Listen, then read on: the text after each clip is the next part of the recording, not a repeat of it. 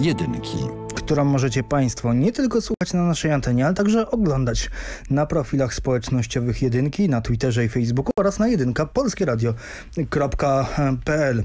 A w dzisiejszej debacie oczywiście finał procesu, który trwał wiele tygodni i co on oznacza dla Polski i dla Europy. Powołanie nowej Komisji Europejskiej z Ursulą von der Leyen. O tym dziś z europosłami w Strasburgu. Jest Zbigniew Kuźmiuk, Prawo i Sprawiedliwość. Dzień dobry, witam pana redaktora, choć przez telefon, bo mamy tutaj jakieś kłopoty techniczne z połączeniem się. Dobrze, że nie z maszynkami do głosowania dzisiaj. I Tadeusz Zwiewka, Platforma Obywatelska. Witam serdecznie. Kłaniam się, dobry wieczór. Studio w Warszawie, no to zatem yy, dziś głosowanie było już jawne, niezastrzeżone, zatem wiedzieliśmy od początku, że ta Komisja Europejska przyjdzie, czy też do końca były obawy, jak mówił pański kolega partyjny, y, pan poseł Czarnecki, że może być jednak niespodzianka? Zbigniew Kuśmiuk. No, okazało się, że, że, że niespodzianki nie było. W lipcu pani von der Leyen wprawdzie została przegłosowana na przewodniczącą Komisji Europejskiej niewielką większością głosów. Rzeczywiście wtedy głosowanie było tajne i mimo deklaracji zdaje się, że Lewica, ale także e, ugrupowanie firmowane przez prezydenta Macrona w jakiejś części nie spełniło swoich publicznych obietnic, że będzie panią von der Leyen popierać. Tym razem e, głosowanie było elektroniczne, ale jawne. No i tych głosów było 80 więcej na całą komisję, więc Niespodzianki nie należało się spodziewać. Zresztą myślę, że, że Lewica e, jest zadowolona z układu sił w nowej komisji. Pan Timmermans jest pierwszym wiceprzewodniczącym, pierwszym zastępcą. Pani von der Leyen ma ogromne kompetencje, ma odpowiadać za ten, ten e, tak zwany zielony, zielony deal. E, więc dzisiaj, jak rozumiem, w całości, choć nie, nie, nie sprawdzałem wyników, ale wydaje mi się, że, że, że cały, cały klub le, le, lewicy zagłosował za, za panią von der Leyen.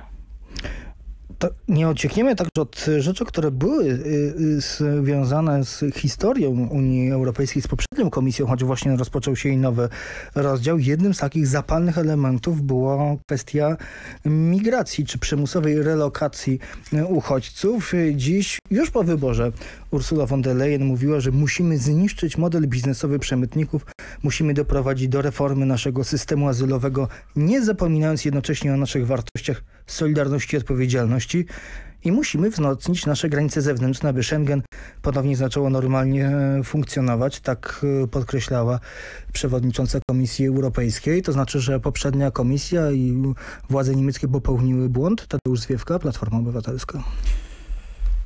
Proszę pamiętać o tym, jaka była sytuacja, kiedy ogromna fala uchodźców, e, przede wszystkim z obszarów objętych wojną, ale niestety także tych ekonomicznych, którzy korzystali z sytuacji e, ogromnego zamieszania, ogromnego naporu na granice Unii Europejskiej, wlewała się wręcz e, do, e, na terytorium Unii Europejskiej i to niestety, mówię to z ogromną przykrością, bez kontroli. To był największy grzech i to, było, to był największy błąd, że w pewnym momencie nie miało miejsca to, co jest podstawowym elementem ochrony każdego terytorium, czyli kontrola osób e, przybywających e, na to mm, e, terytorium. Ale Panie działo pośle, to jest prawda, tylko że to były różne postawy znaczy, rządy europejskie. Nie zrzucajmy całej Węgry winy na jedno. Angelę Merkel, która, której wideo znam, widziałem wielokrotnie, Herzlich oglądałem. Herzlich willkommen, przyjeżdżajcie, czekają na was tutaj miejsca pracy. Wie pan, ja widziałem tyle różnych materiałów kompilowanych z, z, z, kilku y, różnych filmów czy tekstów, y, które były komuś przypisywane, że daj Boże zdrowie. Ale, Zostawmy to Panie na Pośle, ale Urząd Kanclerski nie zaprzecza. No, zaproszenie było, tak? Tu w Polsce też padało z, ale z, oczywiście... Ewy Kopacz, że jesteśmy gotowi na każdą ilość. De facto. Znaczy, Proszę pana, no już bądźmy sprawiedliwi. Nie padało nigdy stwierdzenie, że jesteśmy gotowi na każdą ilość. Zawsze mówiliśmy natomiast, że jesteśmy solidarni i otwarci. Nie, no, bo, tak jest, bo taka jest... Panie e, europośle, nie padło stwierdzenie, że jesteśmy gotowi na każdą ilość.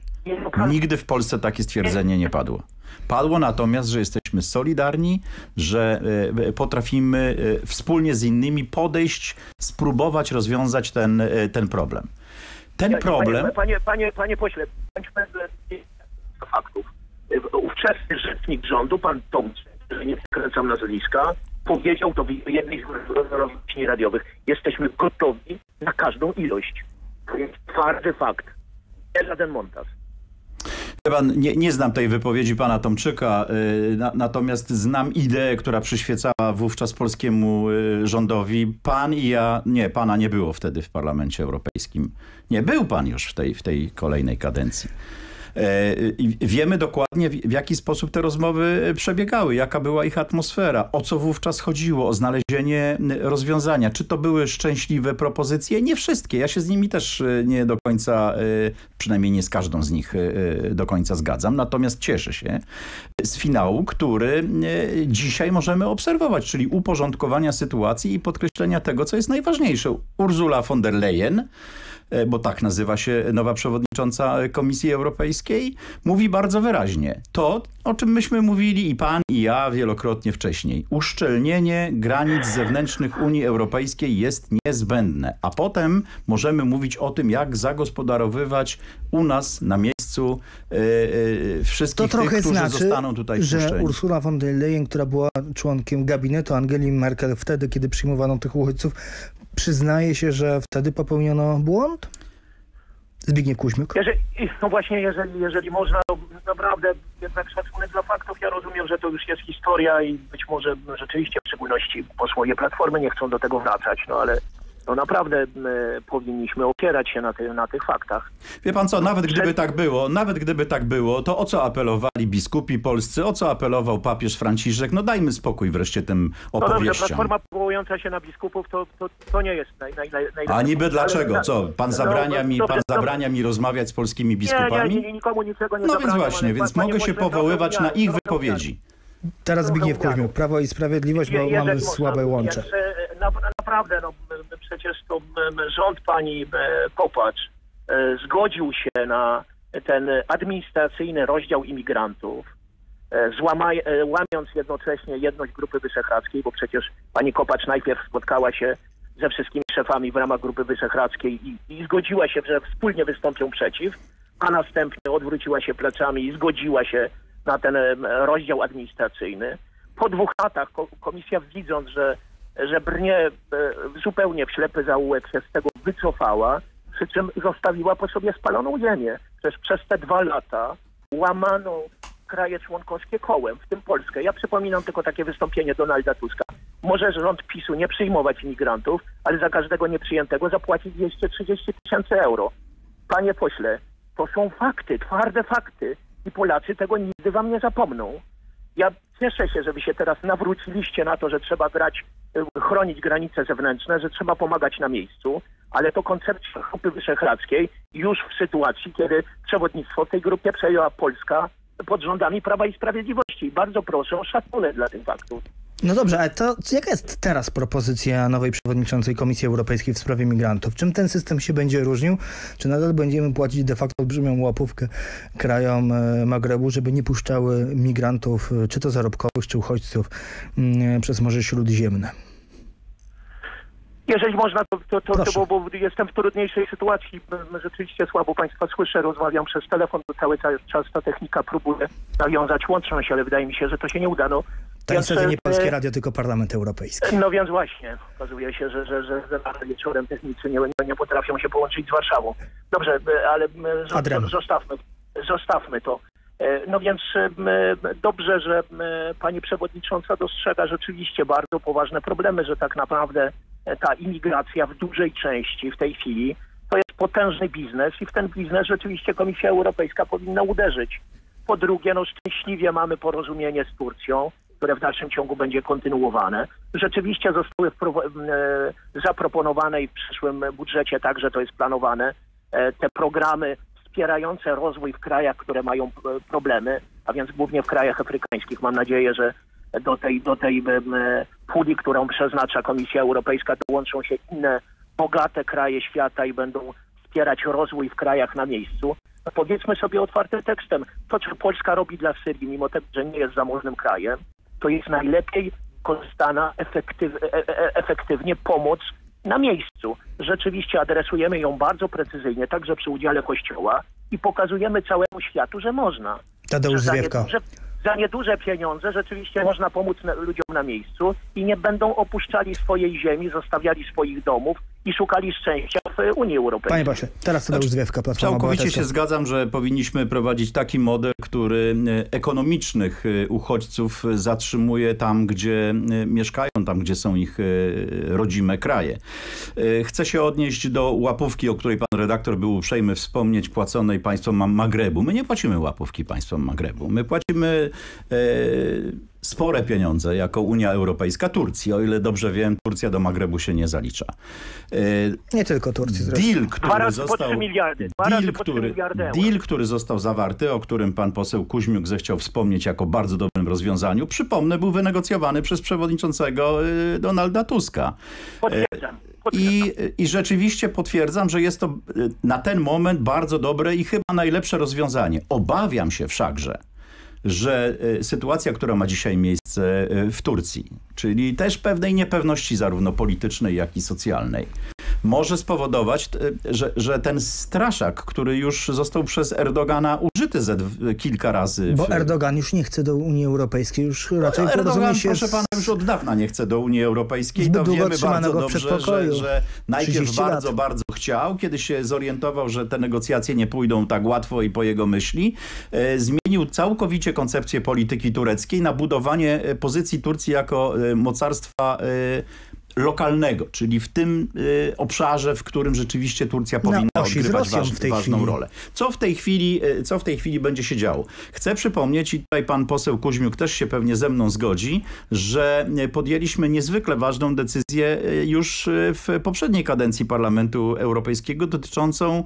e, zwiększenia funduszy przeznaczanych na agencję Frontex, czyli tę, która jest zobligowana do prowadzenia działań e, mających na celu ochronę zewnętrznych granic Unii Europejskiej.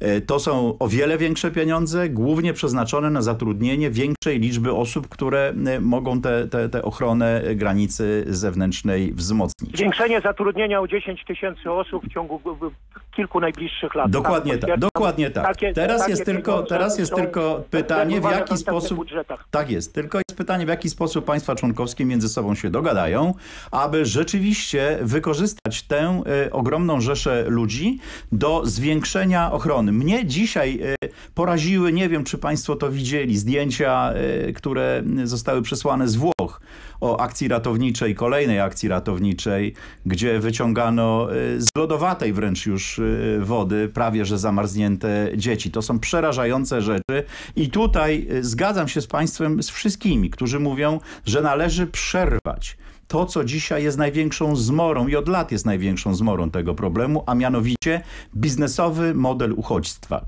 Ponieważ ci ludzie płacą gigantyczne pieniądze jak na ich możliwości, bo to jest 5-10 tysięcy dolarów za e, miejsce na łodzi. Na łodzi, która często jest pozbawiona jakichkolwiek elementarnych y, y, zasad bezpieczeństwa, a czasami nawet ci bandyci z Afryki Północnej, bo tak będę ich nazywał, y, za jakiś czas od brzegu odłączają silniki od tych łodzi. To, to są skandaliczne zachowania. Jasne, tylko problemem jest to, że próbuje się przymusić, tak jak na przykład Włochy, żeby umożliwiały przyjmowanie tych kolejnych łodzi, co powoduje, że są kolejne i kolejne i kolejne.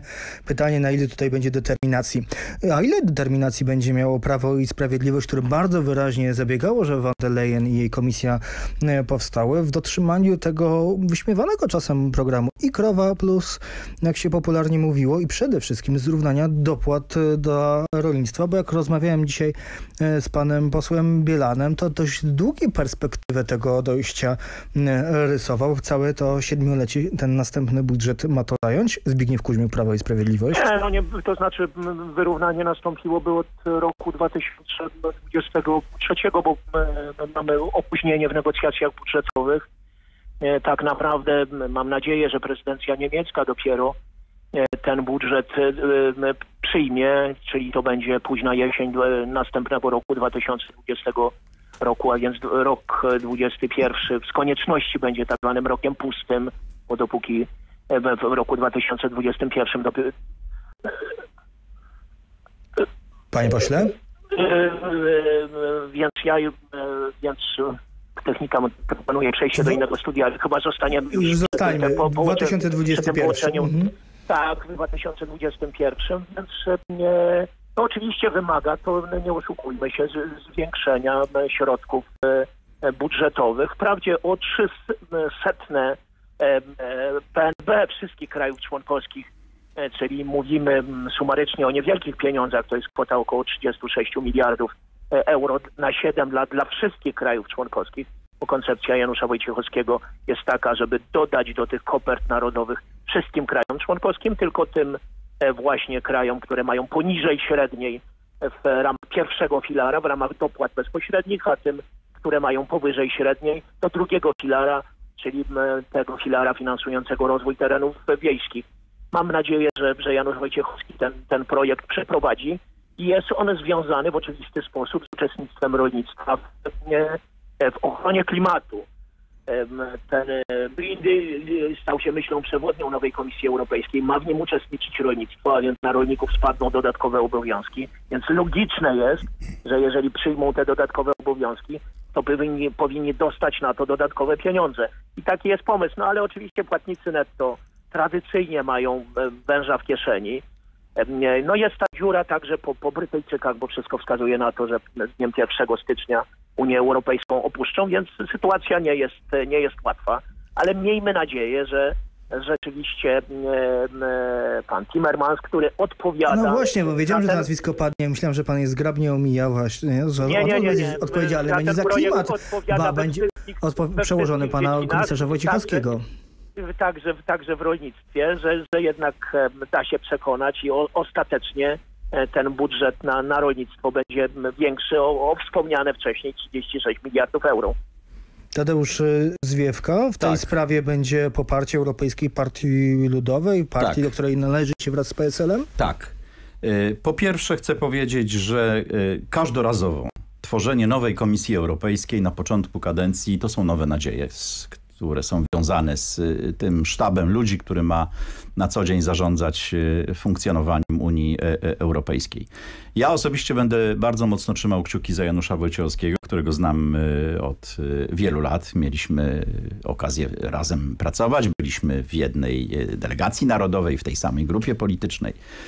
E, I wszystko, co, co jest związane z powodzeniem jego misji, a także z tym, by jak najlepiej e, skorzystała na tym Polska, e, będzie bez wątpienia przez nas e, wspierane. A ja osobiście, jak mówię, trzymam, trzymam kciuki. Natomiast chcę się odnieść do, do, do kwestii związanej z tymi nowymi wyzwaniami. Otóż, proszę Państwa, o tym, że należy zreformować wspólną politykę rolną mówi się już od wielu, wielu lat. I ta reforma mogłaby być przeprowadzona właśnie teraz, kiedy buduje się nowe wieloletnie ramy finansowe. Ale jak widzę, o wiele więcej czasu i zmartwień na głowę przysparza Brexit niż rozmowy pomiędzy politykami europejskimi, ale także przedstawicielami krajów członkowskich na temat reformowania polityk stałych Unii Europejskiej.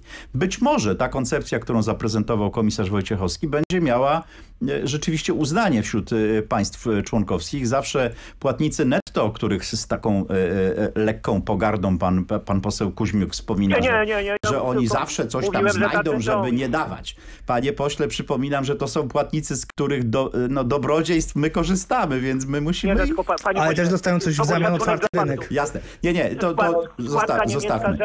88 DNB korzyści ze wspólnego rynku, Jasne, oczywiście. 5% DNB. Jasne, oczywiście, Naprawdę że, że to są... używajmy tych argumentów w negocjacjach, bo tak zawsze będzie Argumenty w negocjacjach jak najbardziej. Chcę tylko powiedzieć jedno. Na pewno cała Komisja Europejska, w tym także ten taki nielubiany przez państwa e, e Timmermans, e, są absolutnie zwolennikami wszelkich działań, które będą prowadziły do ochrony naszego klimatu i naszej planety. Nasza planeta umiera i jeżeli politycy nie tylko europejscy, ale światowi nie będą mieli tego na pierwszym miejscu swojej agendy działań, ale nie mają ani Chiny, no ani Stany mają, no. Zjednoczone, a my odpowiadamy w Polsce za obo- czy to nas zwalnia z 1% emisji obowiązku? CO2. Czy to nas zwalnia z obowiązku y, ograniczania wszelkich, wszelkimi możliwymi sposobami y, trucia y, atmosfery? Nie, Pa- nie Panie pośle, nas. t- 300 kilometrów na wschód od nas już nie ma żadnych norm, które by m, oznaczały i tam świetnie się rozwija przemysł, y, także ten Tak, panie hutniczy. redaktorze, i, i, i szkoda, że, że właśnie w takim kontekście to nie jest postrzegane. Rzeczywiście ta, ta, ta, ta, ten klimat, walka z, ze zmianami klimatu to jest lista religia już w Unii Europejskiej i To nie, polemika jest, z nią. to nie jest religia, panie pośle. Czy na, pan naprawdę nie widzi, co się dzieje e, nawet u nas w kraju? Nie dostrzega Nie, no pan dobrze, tego, co się dzieje w polskim pośle, rolnictwie, stepowienie polskich, rozumiem, że e, jeżeli chodzi o polskich politykę pól? klimatyczną, to byśmy mogli musieli zrobić e, oddzielny Jasne, program. oddzielny żeby- debat, e, oddzielną debatę, Tak, oddzielny ale program. jeżeli, jeżeli pan. Nie mamy na to czasu? pozwoli, to e, e, e, jeżeli pan redaktor pozwoli, to 30 to tak- sekund, panie pośle. Właśnie główne przesłanie. Bardzo ważne jest, byłem dzisiaj na, na, na sali przez e, trzy godziny, kiedy prezentowana była komisja, było wystąpienie pani von der Leyen, więc co, czy, jaka jest zmiana w stosunku do, do poprzedniej komisji, co napawa rzeczywiście nadzieją. Bardzo mocno to podkreślała nowa przewodnicząca, że chce zmieniać e, Unię Europejską razem z Parlamentem Europejskim, ale i z państwami członkowskimi. Tego drugiego elementu poprzedniej komisji i poprzedniemu sze- szefowi Rady, czyli Donaldowi Tuskowi, bardzo wyraźnie brakowało. No nie Donald- mogę się z panem Donald- kompletnie zgodzić. Donalda Tuska, tak Charles Donald Michel- Tusk współpracował z państwami członkowskimi i szefami tych państw, to e, daj Boże zdrowie i dlatego jest tak wysoko oceniany w Unii Europejskiej. I dla- nie tylko. A dlaczego nigdy nie złożył Donald Tusk jak Charles Michel jeszcze przed objęciem w niedzielę swojej funkcji wizyty premierowi Morawieckiemu i nie stać go było na takie zdania, które wczoraj padały z ust Belga? Właśnie, i to jest ta zmiana. Tadeusz Zwiewka, Platforma. Obywatelska. Panie pośle, Tadeusz Zwiewka. E, O jakiej wizycie pan teraz mówi? Mówi no, nowego przewodniczącego Rady Europejskiej, Charlesa Michela. No i Wczoraj. bardzo dobrze, że ta wizyta się odbyła. Bardzo dobrze, że nowy przewodniczący Rady Europejskiej rozpoczyna swoją e, pracę od e, objechania, bo tak to e, chyba możemy nazwać. Niektórych stolic europejskich. najważniejszych stolic europejskich, a Warszawa, Warszawa. bez wątpienia w tym gronie się znajduje. Po, przypomnijmy, Polska po opuszczeniu przez Wielką Brytanię Unii Europejskiej będzie piątym co do wielkości i Zgoda. znaczenia. Może znaczenia jeszcze nie, bo jeszcze, jeszcze A ekonomicznie kiedy troszeczkę Tusk nam taką wizytę odbył, pamięta pan? W Warszawie? A kiedy Donald Tusk został zaproszony do Warszawy? Premier twierdzi, że miał zaproszenie parokrotnie, tylko nigdy nie miał czasu. No Tak Mateusz jakoś dziwnie nigdy o tym nie było słychać. No dzisiaj możemy sobie opowiadać, wie pan, pan premier Morawiecki niestety ma to do siebie, że jest dwukrotnie skazanym kłamczuchem. Zbigniew Więc Kuźma, trudno Prawo jest mi wierzyć w te jego Tadeusz Zwiewka, opowieści. Platforma Obywatelska. Dziękuję bardzo. To czasy kampanii. Dziękuję Warszawę. Pozdrawiamy bądź Strasburg. E, dziękujemy za to łączenie telefoniczne i dziękujemy Udało za wysłuchanie się. tej debaty. Kłaniam się panom posłom, kłaniam się państwu. Do usłyszenia.